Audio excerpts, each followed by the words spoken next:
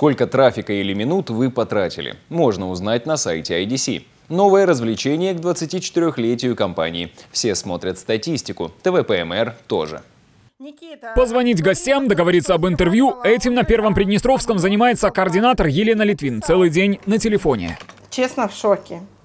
Я так много говорю. Это ужас. Это язык бы уже поломался. И тем более 177 тысяч минут.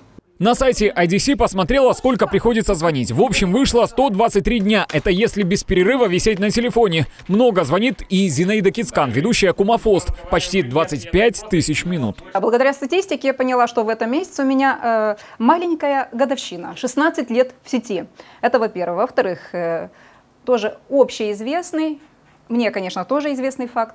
Люблю я поговорить минут потрач, потрачено ну, достаточно. Меньше отдаю предпочтение смс-кам. Интернет тоже уважаю, но все-таки поговорить услышать человека вот так вот. 4G уважает Даша. Она у нас СММщик, занимается соцсетями. Стаж пользования связью у меня не такой большой, почти там три года но удивило то, что у меня 724 гигабайта использованного трафика. Это примерно 3,5 миллиона фотографий в Инстаграме. То есть мне нужно сидеть где-то, наверное, года два, просто беспрерывочно листать э, Инстаграм, чтобы набрать это количество.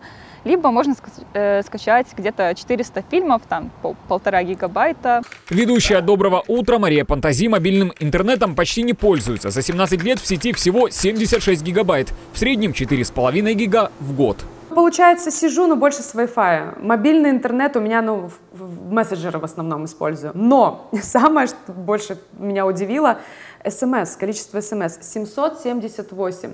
Я искренне не помню, кому я их отправляла за эти 17 лет. Я, в принципе, сейчас не вспомню, когда я последнюю отправляла с телефона. СМСки ушли в прошлое. Вот статистика корреспондента Виктора Бережного. Всего три отправленных сообщения. А у редактора Виолетты Ганиной больше двух тысяч. И она преданный абонент IDC в сети 19 лет.